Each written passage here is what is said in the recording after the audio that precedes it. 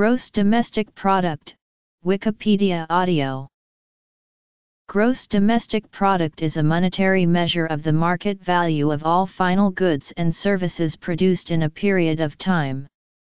Nominal GDP estimates are commonly used to determine the economic performance of a whole country or region, and to make international comparisons.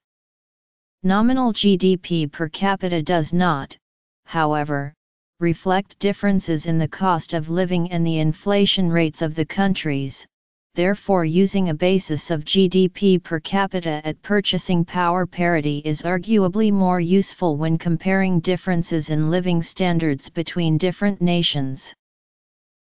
The OECD defines GDP as an aggregate measure of production equal to the sum of the gross values added of all resident and institutional units engaged in production. An IMF publication states that GDP measures the monetary value of final goods and services, that are bought by the final user, produced in a country in a given period of time. Total GDP can also be broken down into the contribution of each industry or sector of the economy. The ratio of GDP to the total population of the region is the per capita GDP and the same is called mean standard of living. GDP is considered the world's most powerful statistical indicator of national development and progress. Definition William Petty came up with a basic concept of GDP to defend landlords against unfair taxation during warfare between the Dutch and the English between 1652 and 1674. Charles Davenant developed the method further in 1695. The modern concept of GDP was first developed by Simon Kuznets for a U.S. Congress report in 1934. In this report, Kuznets warned against its use as a measure of welfare. After the Bretton Woods Conference in 1944, GDP became the main tool for measuring a country's economy. At that time gross national product was the preferred estimate, which differed from GDP in that it measured production by a country's citizens at home and abroad rather than its resident institutional units. The switch from GNP to GDP in the US was in 1991, trailing behind most other nations. Crucial to the development of GDP was its role in the wartime effort. A crucial role was played here by the U.S. Department of Commerce under Milton Gilbert where ideas from Kuznets were embedded into governmental institutions. The history of the concept of GDP should be distinguished from the history of changes in ways of estimating it. The value added by firms is relatively easy to calculate from their accounts, but the value added by the public sector, by financial industries, and by intangible asset creation is more complex. These activities are increasingly important in developed economies, and the international conventions governing their estimation and their inclusion or exclusion in GDP regularly change in an attempt to keep up with industrial advances. In the words of one academic economist the actual number for GDP is therefore the product of a vast patchwork of statistics and a complicated set of processes carried out on the raw data to fit them to the conceptual framework. C is normally the largest GDP component in the economy, consisting of private expenditures in the economy. These personal expenditures fall under one of the following categories durable goods, non-durable goods, and services. Examples include food, rent, jewelry, gasoline, and medical expenses, but not the purchase of new housing. I. Includes, for instance, business investment in equipment, but does not include exchanges of existing assets. Examples include construction of a new mine, purchase of software, or purchase of machinery and equipment for a factory. Spending by households on new houses is also included in investment. In contrast to its colloquial meaning, investment in GDP does not mean purchases of financial products. Buying financial products is classed as saving, as opposed to investment. This avoids double counting, if one buys shares in a company, and the company uses the money received to buy plant, equipment, etc., the amount will be counted toward GDP when the company spends the money on those things, to also count it when one gives it to the company would be to count two times an amount that only corresponds to one group of products. Buying bonds or stocks is a swapping of deeds, a transfer of claims on future production, not directly an expenditure on products. G is the sum of government expenditures on final goods and services. It includes salaries of public servants, purchases of weapons for the military and any investment expenditure by a government. It does not include any transfer payments, such as social security or unemployment benefits, X represents gross exports. GDP captures the amount a country produces, including goods and services produced for other nations' consumption, therefore exports are added, M represents gross imports.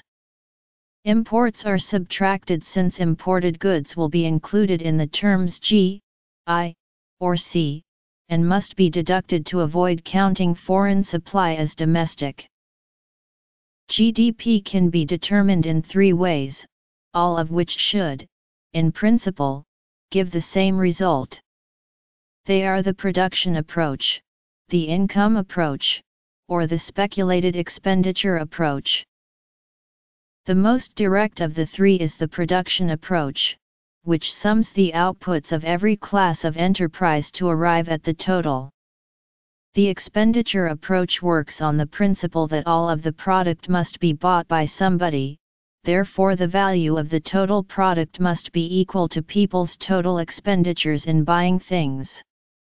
The income approach works on the principle that the incomes of the productive factors must be equal to the value of their product, and determines GDP by finding the sum of all producers' incomes. This approach mirrors the OECD definition given above. Gross value added equals gross value of output value of intermediate consumption.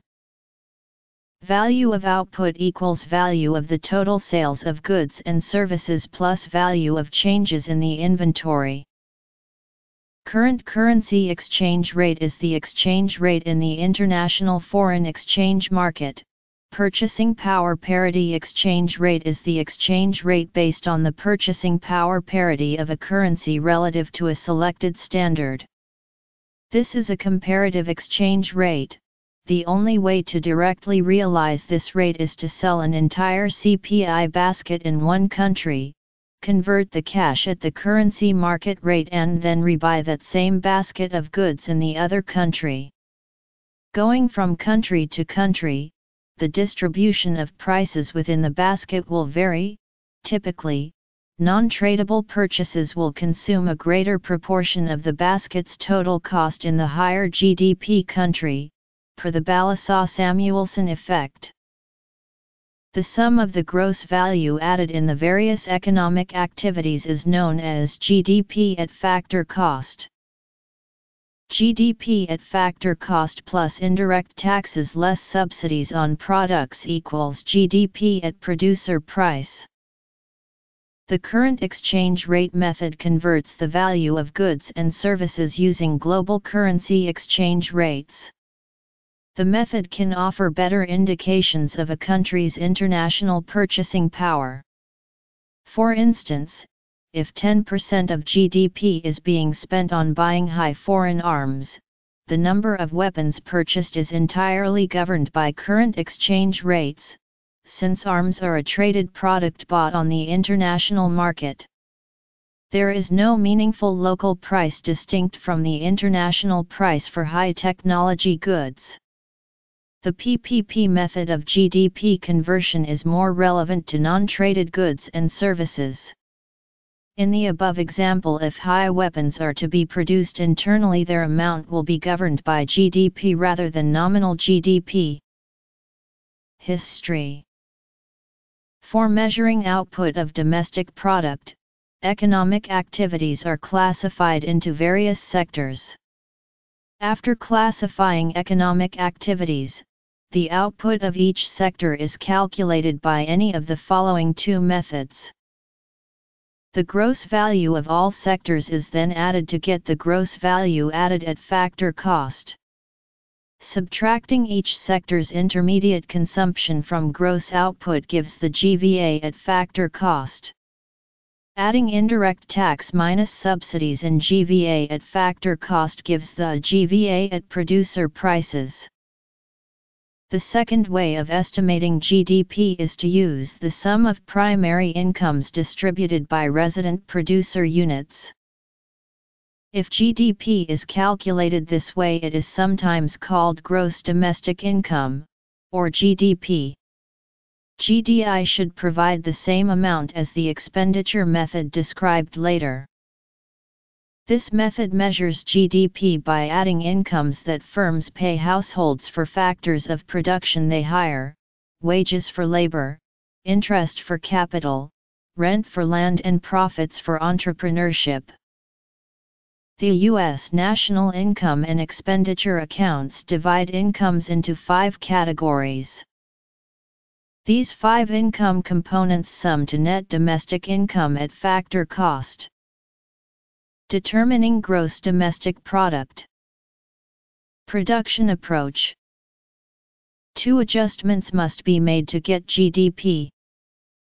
Externalities Economic growth may entail an increase in negative externalities that are not directly measured in GDP. Increased industrial output might grow GDP, but any pollution is not counted, Non-market transactions GDP excludes activities that are not provided through the market, such as household production, bartering of goods and services, and volunteer or unpaid services. Non-monetary economy GDP omits economies where no money comes into play at all, resulting in inaccurate or abnormally low GDP figures. For example, in countries with major business transactions occurring informally, portions of local economy are not easily registered.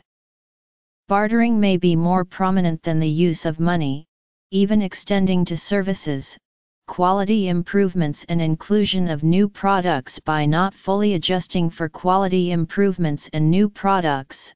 GDP understates true economic growth.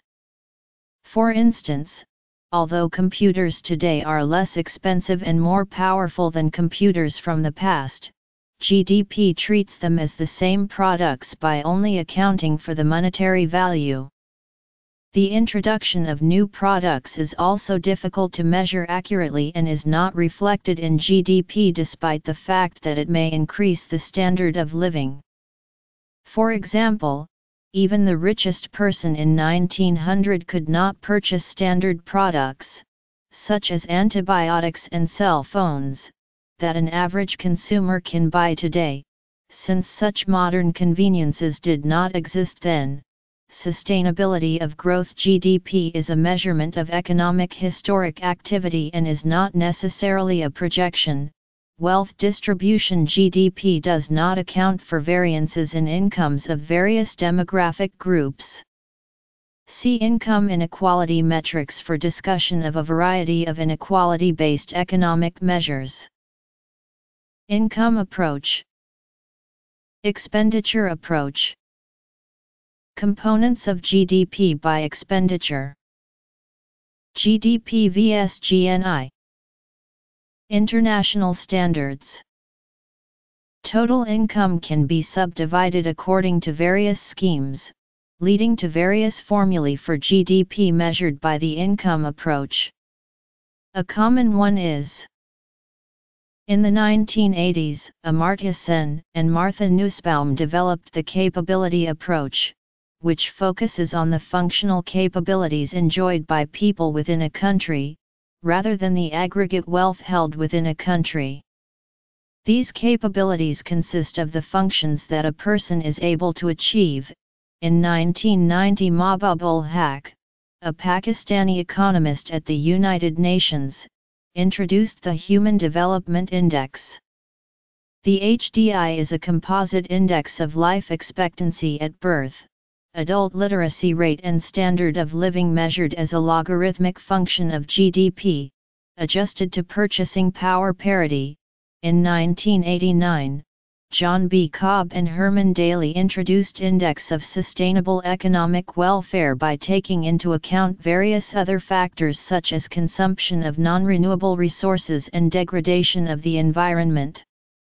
The new formula deducted from GDP, in 2005, Med Jones, an American economist, at the International Institute of Management, introduced the first secular Gross National Happiness Index A.K. A Gross National Well-Being Framework and Index to complement GDP economics with additional seven dimensions, including environment, education, and government, work, social and health indicators.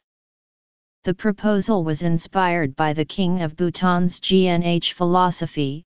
In 2009, the European Union released a communication titled GDP and Beyond, measuring progress in a changing world that identified five actions to improve the indicators of progress in ways that make it more responsive to the concerns of its citizens, introduced a proposal to complementing GDP with environmental and social indicators.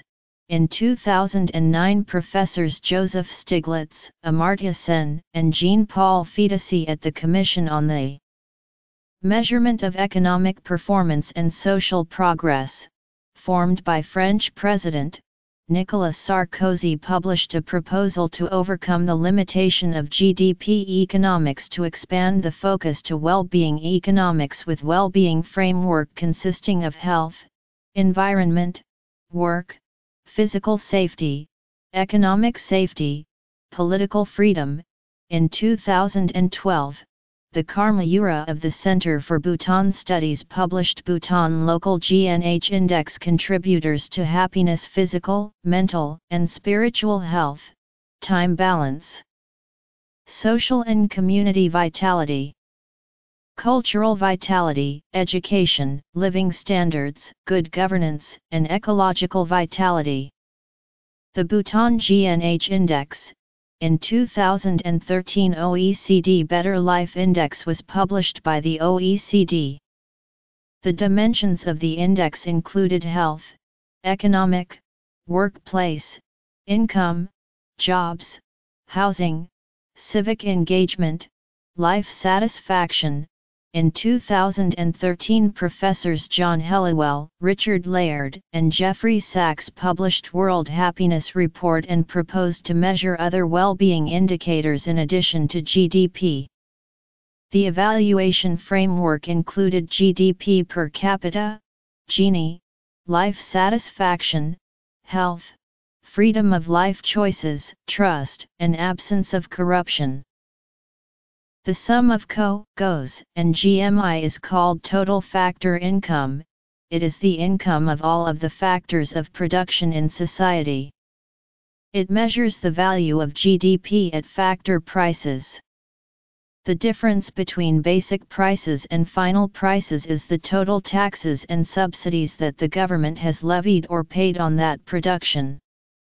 So adding taxes less subsidies on production and imports converts GDP at factor cost to GDP. Total factor income is also sometimes expressed as national measurement. The third way to estimate GDP is to calculate the sum of the final uses of goods and services measured in purchasers' prices. Market goods which are produced are purchased by someone. In the case where a good is produced and unsold, the standard accounting convention is that the producer has bought the good from themselves. Therefore, measuring the total expenditure used to buy things is a way of measuring production. This is known as the expenditure method of calculating GDP. GDP is the sum of consumption, investment, government spending, and net exports. Here is a description of each GDP component. Note that C, G, and I are expenditures on final goods and services, expenditures on intermediate goods and services do not count. According to the U.S. Bureau of Economic Analysis, which is responsible for calculating the national accounts in the United States, in general, the source data for the expenditures components are considered more reliable than those for the income components. GDP can be contrasted with gross national product or, as it is now known, gross national income. The difference is that GDP defines its scope according to location, while GNI defines its scope according to ownership. In a global context, world GDP and world GNI are, therefore, equivalent terms. Nominal GDP and adjustments to GDP. GDP is product produced within a country's borders, GNI is product produced by enterprises owned by a country's citizens. The two would be the same if all of the productive enterprises in a country were owned by its own citizens, and those citizens did not own productive enterprises in any other countries. In practice, however, foreign ownership makes GDP and GNI non-identical. Production within a country's borders, but by an enterprise owned by somebody outside the country, counts as part of its GDP but not its GNI. On the other hand, production by an enterprise located outside the country, but owned by one of its citizens, counts as part of its GNI but not its GDP. For example, the GNI of the USA is the value of output produced by American-owned firms, regardless of where the firms are located. Similarly, if a country becomes increasingly in debt, and spends large amounts of income servicing this debt this will be reflected in a decreased GNI but not a decreased GDP. Similarly, if a country sells off its resources to entities outside their country this will also be reflected over time in decreased GNI, but not decreased GDP. This would make the use of GDP more attractive for politicians in countries with increasing national debt and decreasing assets. Cross-border comparison and purchasing power parity. Gross national income equals GDP plus income receipts from the rest of the world minus income payments to the rest of the world. In 1991, the United States switched from using GNP to using GDP as its primary measure of production. The relationship between United States GDP and GNP is shown in Table 1.7.5 of the National Income and Product Accounts.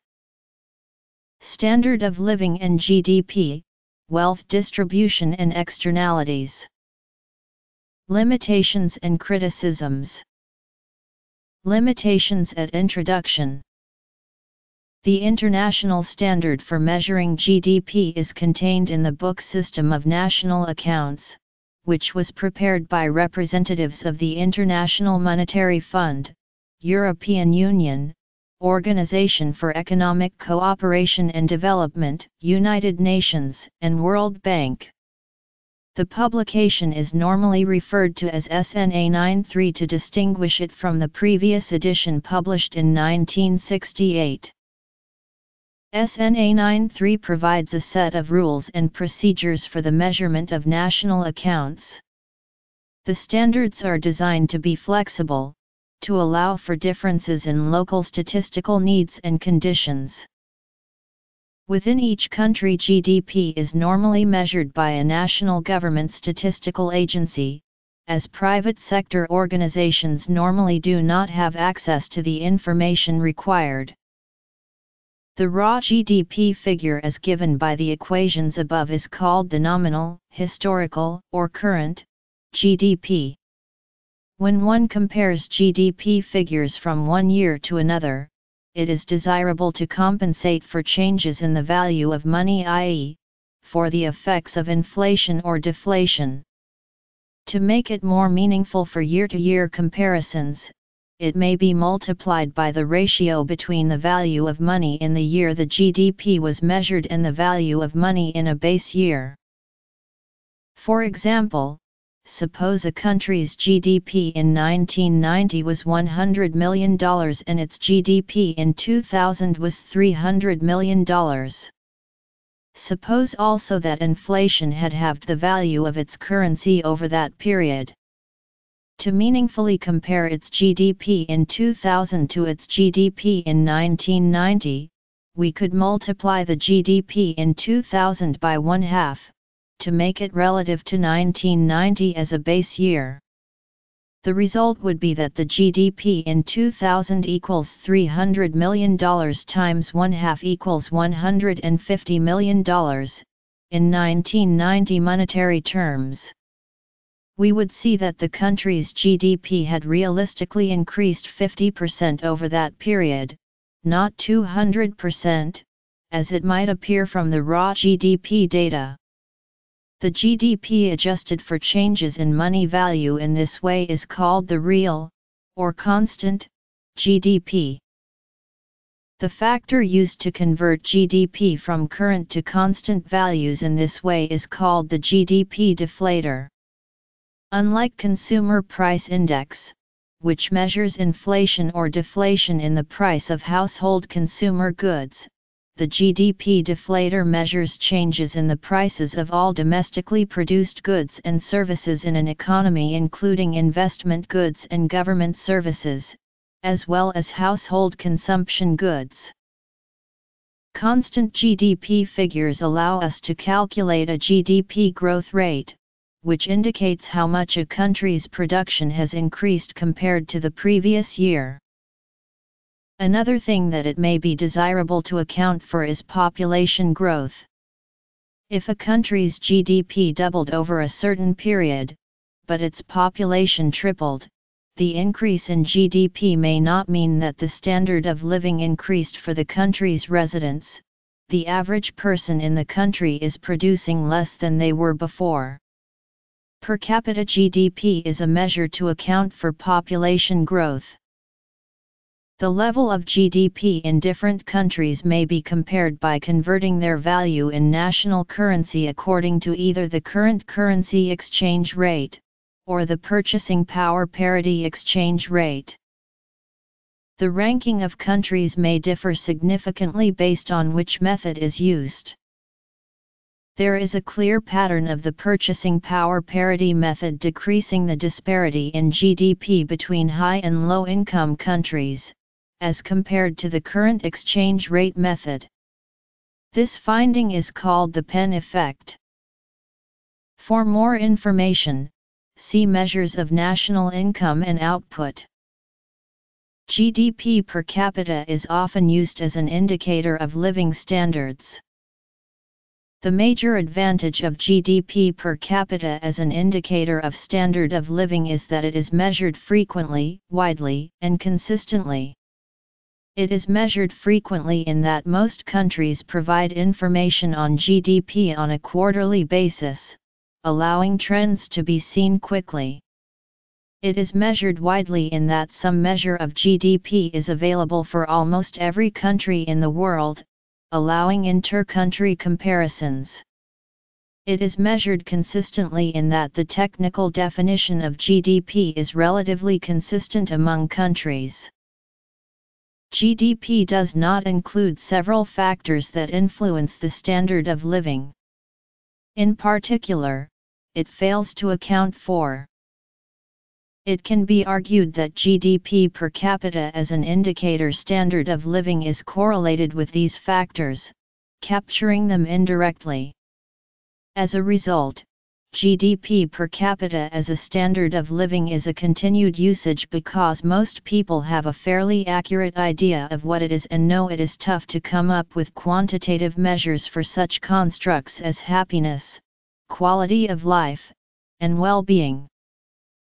Simon Kuznets, the economist who developed the first comprehensive set of measures of national income, stated in his first report to the U.S. Congress in 1934, in a section titled Uses and Abuses of National Income Measurements.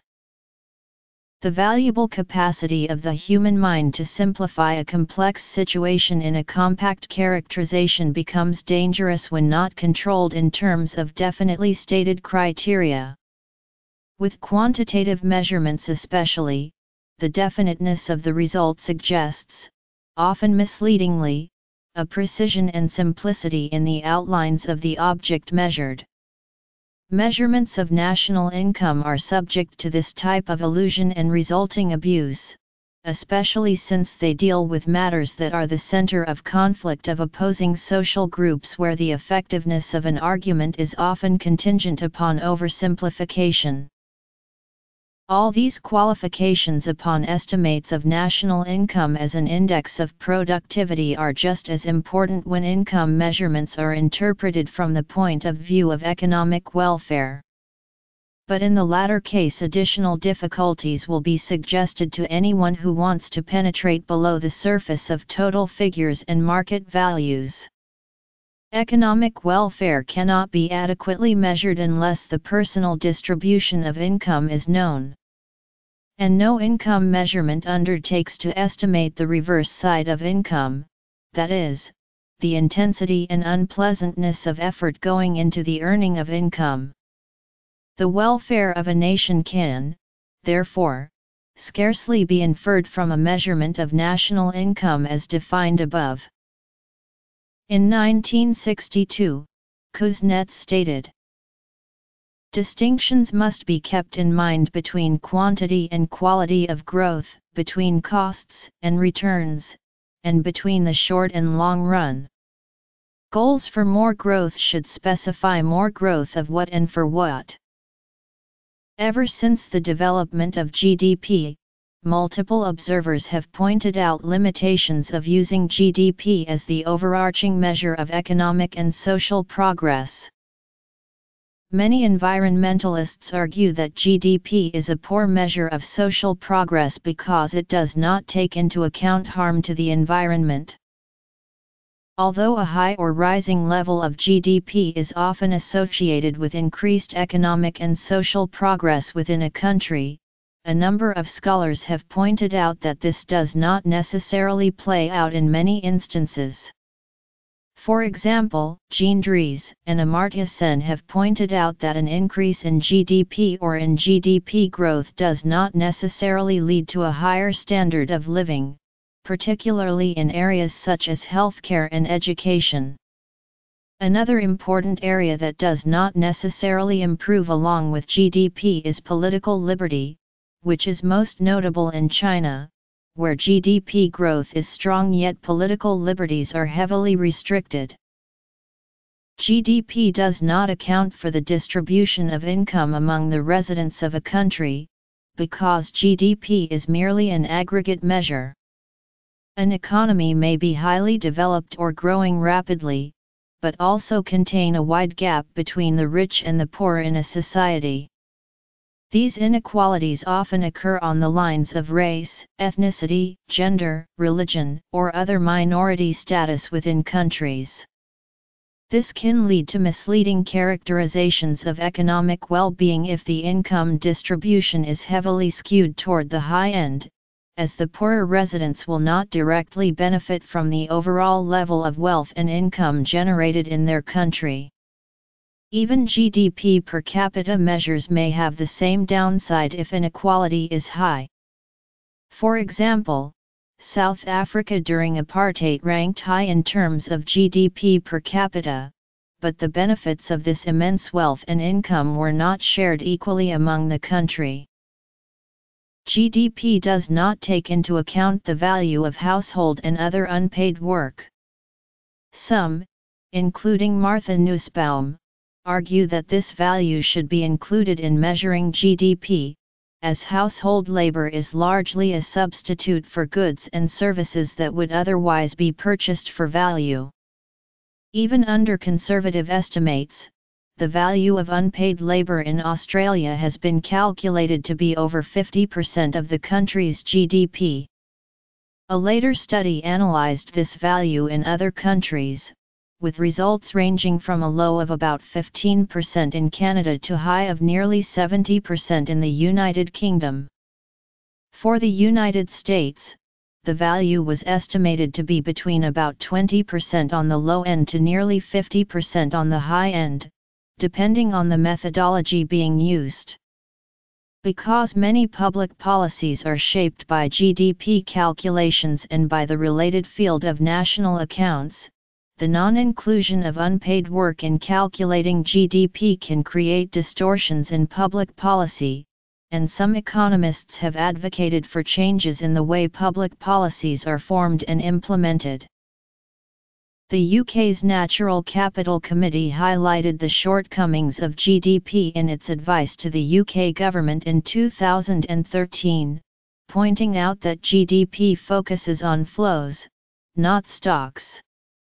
As a result, an economy can run down its assets yet, at the same time, record high levels of GDP growth, until a point is reached where the depleted assets act as a check on future growth. They then went on to say that it is apparent that the recorded GDP growth rate overstates the sustainable growth rate. Broader measures of well-being and wealth are needed for this and there is a danger that short-term decisions based solely on what is currently measured by national accounts may prove to be costly in the long term. In response to these and other limitations of using GDP, alternative approaches have emerged. Further criticisms Proposals to overcome GDP limitations Lists of countries by their GDP. Notes and references. Global Data. Articles and books.